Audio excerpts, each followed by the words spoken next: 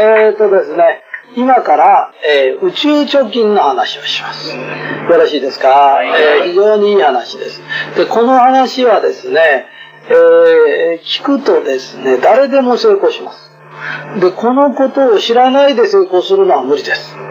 そのかし知った以上は失敗することができません。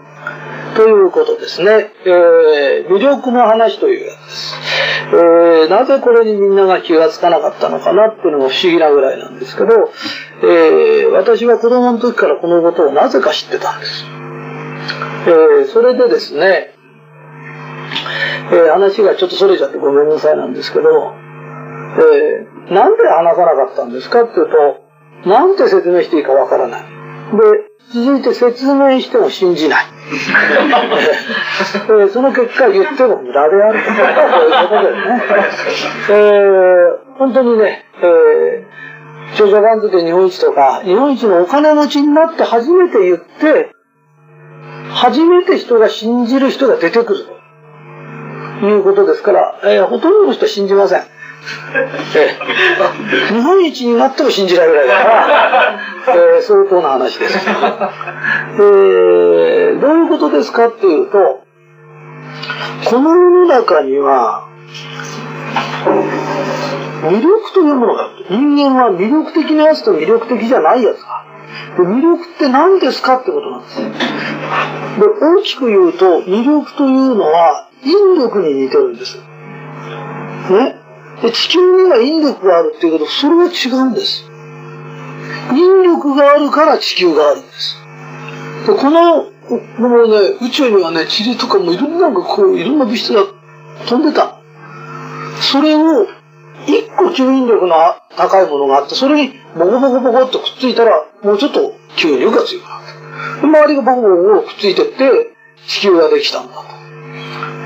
ね。だから引力がなくなると地球はまた元通りバラバラバラってなっちゃうんだっていうことだよね。当たり前のことなんだよ、こんな話はね。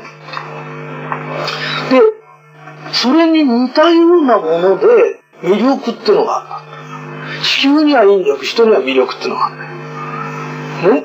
で、魅力の似とるやつとねえやつがいるんですよ。で、魅力って何ですかっていうと、魅力のいいところってのは、後で足すことができるんだよ。くらでも魅力的になれる。そのかし、いくらでも魅力的じゃないこともできる。なくなっちゃうこともできる。ね？例えば、普通の男がいる。だからこれはどう見ても普通だなと思うんだよね。ね？でもあの人、えー、今日一番出てたのにとそうかって見る目が違ってくんだよね。うん。ね？お父さん大阪で市長やってんのにとか、そうかとかね。一人息子でお母さんいないのとか、だんだんだんだん魅力的な話って 出てきたりするんだよね。それ何に魅力を感じるか知らないよ。要は、いいものをプラスすると魅力になるんですよ。だから、あのー人間的魅力っていうのはどういうことですかというと、簡単に言うと、まあ、うちは顔パワーという、その、化粧品出すと。で、顔パワーは、魅力度1万点だとするよね。で、そこに人間的魅力度が1万点のやつが販売してると2万点になっちゃうから、すごい勢いで売れちゃうんだよね。ところが魅力度がマイナス1万点みたいなやつがいるんだよ。ねそうすると、相殺するとゼロになっちゃうから売り上げが上がんないってことになっちゃうんだよ。ね？だから同じものを売ってて売れる人と売れない人がいるんだよ。それって魅力度の違いなんだよ。っていうことなんだよね。で、この魅力っていうのは実は、いいことのプラスなんだ。ね？だ簡単に言うと、えー今自分が出してる言葉が魅力的か魅力的じゃないかっていう話なんだけど、例えば、こう、魅力のないやつっているんだよ。で魅力のないやつは実に魅力のないことを言う。ねで、例えば、不景気ですね、とかで、ねで不景気ですねって、それはいいんだよ、一回ぐらいは。で、不景気だ、不景気だって何回も言うと魅力がないんだよ。で、政治が悪いとか官僚が悪いとかって。で、そうかもわかんないんだよ。ねだけどずっと言ってるあんた魅力的ですかって言うと、絶対魅力ないんだよ。それより、いくら不況だってね、何も買わないわけじゃないんだし、ね、繁盛してるとこなんだから、本当に頑張んなきゃねとかって言った方が魅力的だよね。そうすると、魅力的なことを言うとどうなりますかっていうと、魅力的、魅力貯金ってのができるんだよ。魅力的なことを500点言うと、この宇宙に宇宙貯金ってのがあって、500点分ガチャガチャガチャっとこう、プラスされるんだよ。マイナスなことを言うと引っ込むんだよ。え？えー、いい大学出ました。いい大学出たっていうのは、いい大学出たんだからプラス100点ですよ。わかるかい？ところが、誰も聞いてもいないで、実は僕はこういう学校で出たよって。ね？それで、学校行ってないやつ馬鹿にしたりなんかすると、マイナス100万点なんですよ。100万点。で、学校行ったのは100点だけど、そういうこと言ってるやつは100万点なんですよ。マイナス100万点なんだよ。ね、そうすると、宇宙貯金の方に貯金どころか借金になっちゃうんだよ。ところがね、そういうことしけが明かすわけでもなく、えばることでもなく、俺にできることやってやるぞとか、鍵もやってやるぞとさらさらいろんなことやってくれたら、いい人なんだよ。そうするとそれはプラス100万点なんだよ。え？で、どっちにしますか？で、この宇宙貯金っていうのはとんでもない金利がつくんだよ。だからいつもいいことばっかし起きる人っていうのは魅力貯金をしてんだよ。それが宇宙に貯金されてるんだよ。だからよく、えー、笑顔でいなきゃいけないよって言うと、客が来た時しか笑わないやつがいるんだよ。え？そうすると魅力ないんだよ。なんで魅力ないんですかって。客が来た時しか笑わないってことは、金もらわなきゃ笑わないって気ですねってことだよね。ね、ただじゃ笑わないっていう、そういうやつって絶対魅力ないよね。マイナス100万点ですよ。100万点なんだってことだよね。いつも笑顔でいる人と、金もらった時だけ笑うやつじゃえらい違いなんだよ。と、あんたのやってることはマイナス100万点だよね。と、プラスで300万点あるやつは、それに対する金利がいっぱいつくから、いいことが日常いっぱい起きるのだよ。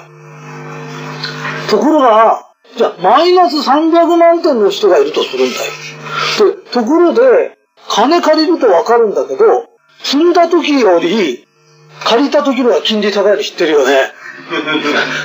悪いことがバカバカ起きるんだよ、そいつには。バカバカ起きるんだよ。だって現実にそういう人いっぱいいるでしょ？なんでこんなに悪いことばっかり続くの？必ず魅力のないこと言ってんだよ。ね、うちはね、あの、引っ込んだとこでやってるからダメなのよ。えなんだからダメなのよ。あそこは勉強に行って、あそこはこういうので人取り回って、ああでこうでって。ね？ぐずぐず言うんだよ。魅力ないよねって。じゃあ、あんたのとこより、場所の悪いところで売り上げの高いとこだったらどうするの？申し訳ない。腹でも切るかとか。ね、何でもいいんだけどな、なんかやってみるかってことになるじゃない。ね、魅力のないことを言い続けるんだよね。それを言うんだったら、下町でもお店出せて幸せだねとか、ね？こういうとこだって来てくれるお客さんいるんだから私で頑張んなきゃねって。ね？今車の時代だから魅力さえあればどこからでも来るよとか。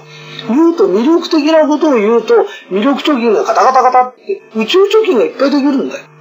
宇宙貯金をいっぱい持ってるやつには悪いことも起きないし、いいことばっかしなの。ね？で、場所が悪い、何が悪いって言ってね、あのー、三春の滝桜でも何でも、場所が悪くたって、桜に魅力があるみんなが行くんだよ。桜が俺たち見に来ることなんかありゃしねえんだよ。ね？素晴らしい魅力のあるやつがいる。山の中だって人が入ってくんだよ。ね、それを場所のせいにしちゃいけないんだよ。自分の魅力が足りないんだよって。ね桜だって見に来る奴がいるのになぜあんた見に来る人いないんですか？それは魅力がないからでしょって。わかるかい？今、えー、お化粧の講習やってたんだけど、お化粧する。すごい綺麗な。人が綺麗な。魅力的になるんだよ。わかるかい？魅力的になったら、ハッピーだよね。ところが、綺麗にしてあげた人は、これ自分一人が綺麗になるより、10人化粧してあげて綺麗になったら、ね？みんなにありがとうって言われた時、自分の魅力的にバリバリバリって上がっちゃうんだよ。魅力貯金が上がれば上がるほどいいこと起きるんだよ。でなぜお店に繁盛するお店と繁盛しないお店があるんですか？なぜ同じものを売ってて、こんなに売り上げ違うんですかって言った時、ああじゃない、こうじゃない、いろいろ言うけどそうじゃない。魅力がねえんだよ。魅力があれば来るんだよ。で、魅力って何ですかって言ったら、魅力的な発言をし、魅力的な行動をすればいいんだよ。だってそれだけのことなんだよね。だからあんた今言ってることは魅力がありますか？ねで、魅力がないってことは引力がないのと同じなんだよ。引力がないのにお客が集まってきませんかねって来るわけないんだよ。引きつける何かがなきゃしょうがないでしょって。引きつけられてくるんだよ。ね。それから、なんつうの、いいこと教えてあげても、やらない。やってもぐずぐずぐずぐずやってる。ねで、自分でもいいこと考えられない。それ、全然良くないでしょ？これ自分のことだと思わない、人のことだと思って考えてごらん。そういうやつ、魅力があるかどうか考えてみな。だ魅力がないんだよ。ね？だからいろんな形で自分は魅力的だろうか。ね。今の発言って魅力があるだろうか。だって、そういう形で考えてったら、一つ一つの発言が魅力的ですか？って。ね。学校でもそうだよ、社会でも。後輩が入ってきた時先輩として導いてあげる人がいるのか、先輩として悪い人が魅力的ですか？常にどっちが魅力的ですかってあるよねって。いつも魅力的な方を取ってる人間が魅力貯金がいっぱいできるんだよねって。それを方法論だとかテクニックだとかって言うんだよね。魅力のない奴が何やったってダメだよ。うん。魅力のない奴が何、歌う歌おうが踊る踊るがダメだよ。なんか見たくないもん。だから、もっと自分の魅力、それで、魅力的なことを言うと自分も気持ちいいんだよ。相手も気持ちいいんだよ。それでなおかつ、上に貯金がガチャガチャガチャガチャっとできるんだよ。わかるかい？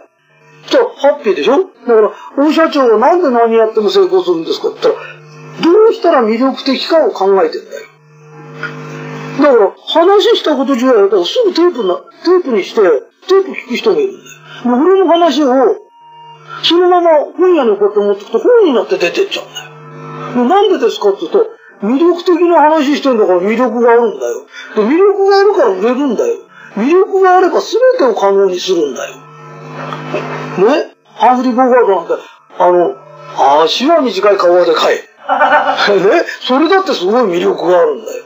で、魅力っていうのは、俺は足が短いからなとかって言ってる奴には魅力なんか出ねえんだよ。で、短いのは短いんだから、座ってる時立派だとかいろいろさ、肯定的なこと言うんだよ。